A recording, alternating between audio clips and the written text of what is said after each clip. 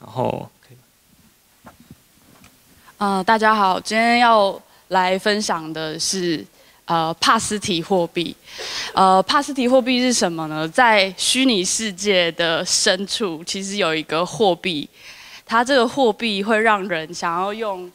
各式各样的时间、金钱，甚至你的生命来交换。平常一般的货币，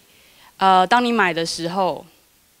呃，它会有一些性质，比方说它在虚拟世界永远都存在在那里，或者是说它其实没有办法影响你一般的生活，一般在你周遭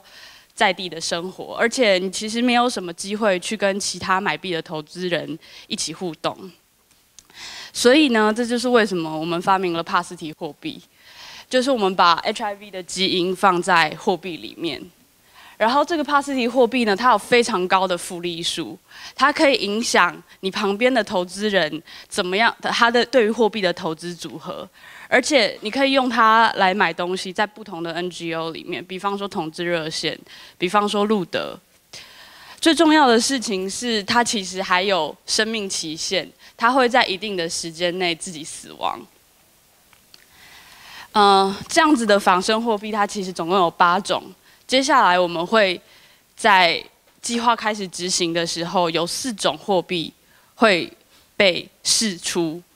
呃，你可以在空总的中山堂拿到你这个货币的电子钱包，你也可以在 Moca 前面的那个 Cube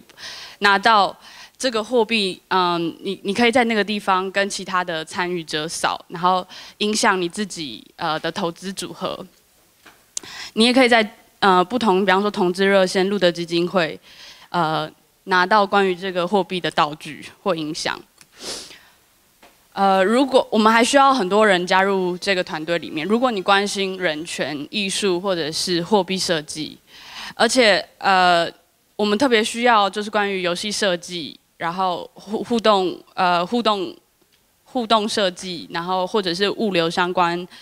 的人，还有关于嗯角色扮演有兴趣的人，比方说有些人，我们需要他来担任这个计划里面的交易员。如果你对这些角色有兴趣的话，欢迎加入呃我们的 team，或者是嗯